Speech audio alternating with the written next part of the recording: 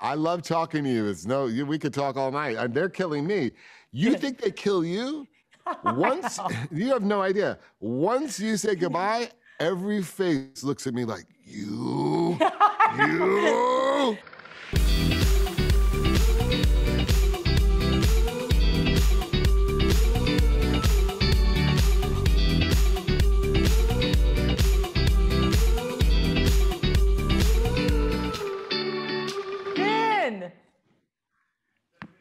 My gosh, I, I- I said, listen, if your mom's there, have her come in and fill some time. I can get an astrological reading while you're visiting with friends.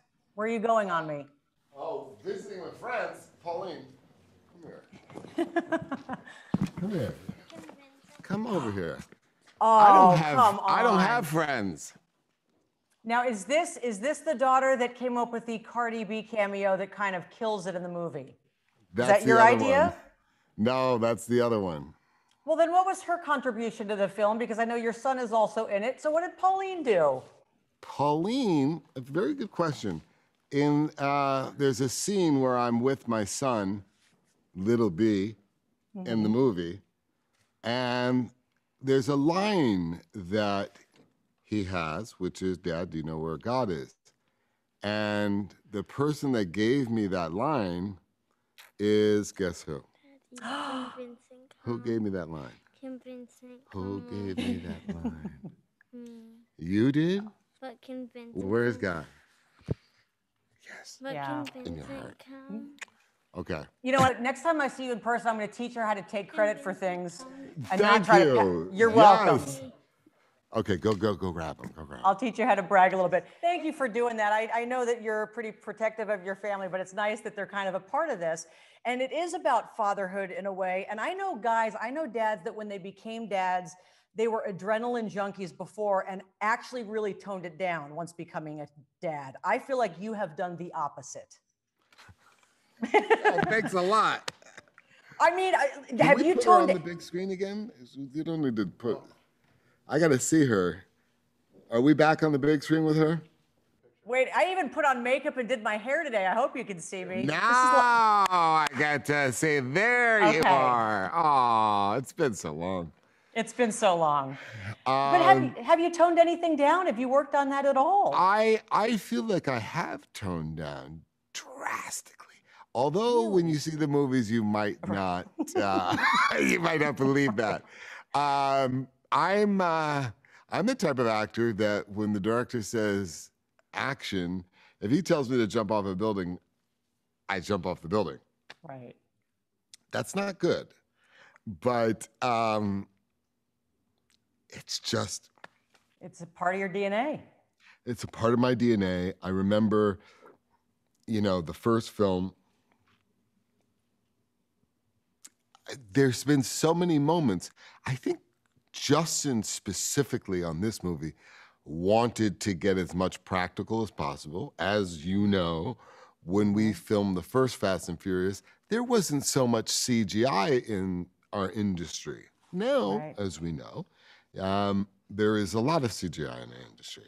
And I think what Justin was trying to do to give you that visceral reaction uh, was to try to um, shoot as much practical as possible. Now, that's great for aesthetics on film, but when you got a family you got to get home to, sometimes, you know, you could get a little bit anxious about uh, the risk level of certain stunts. As I, What percentage of these stunts could we actually pull off in real life?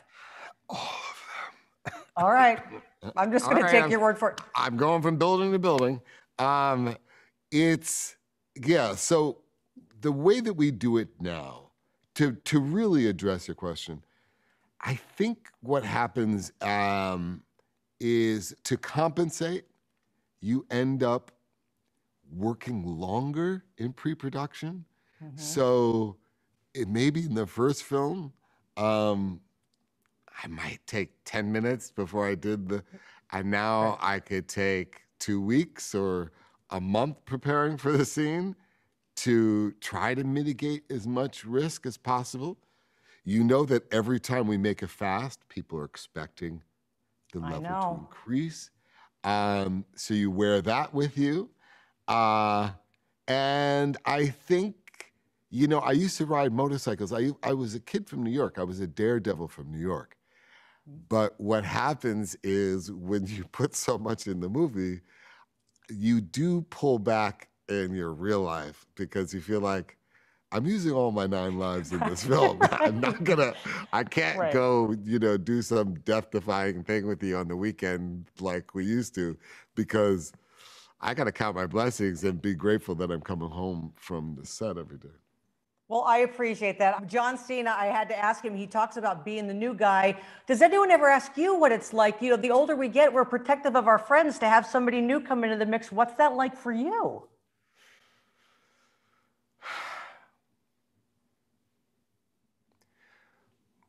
early in development, the early development stage of the script, the idea of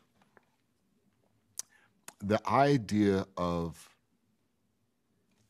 reflecting on one's father and that and that process unveiling a broken brotherhood in the past. Very interesting very exciting. And then the time came to cast Jakob Toretto. Mm. And that ironically became such an a moment of anxiety. I couldn't in my wildest dreams think, you know, because I, I'm a multicultural actor. You could have picked any actor, anyone from anywhere in the world to play my brother.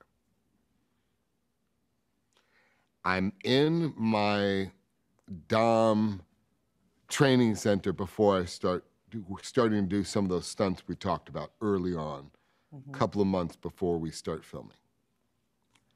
One morning, they, they call me and they say, uh, John Cena is in town and would love to just meet you um, in regards to being in the franchise. And he came in, and his energy, he's such a good guy. I mean, he won the good guy contest every day on set.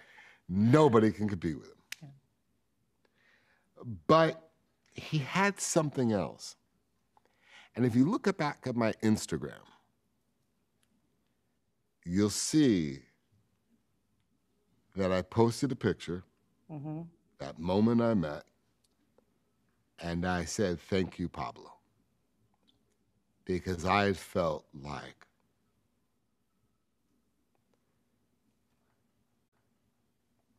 Pablo had sent him to play Jakob Toretto.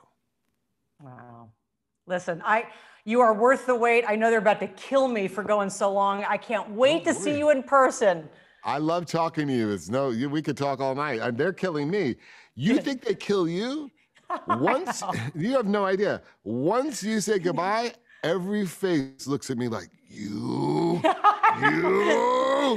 Yeah. They get so mad that I enjoy talking to you guys. Why? Well- they, they see the movie. They love this is versa. I this is I, I try to tell them this is why I work years making the movie, and then I get someone like you that's seen the movie, and that not only has seen this movie but has seen previous movies and All been of them. along a part of the journey. And how can I not love talking? And I'm a fellow Cancer. And as you know, we're all about family. We're all Happy about birthday family. early. And thank you, Vin, for being Oh. so generous. And thank you to Universal. I know I'm probably never invited to another one. Thanks, guys. Yeah, they'll never invite me again. I, you'll never invite me to another junket. Bye. Have a good Thank one. you. Thank you so much. Oh, you too. Blessings to you and Happy your family. birthday. Happy birthday. Thank you. You too.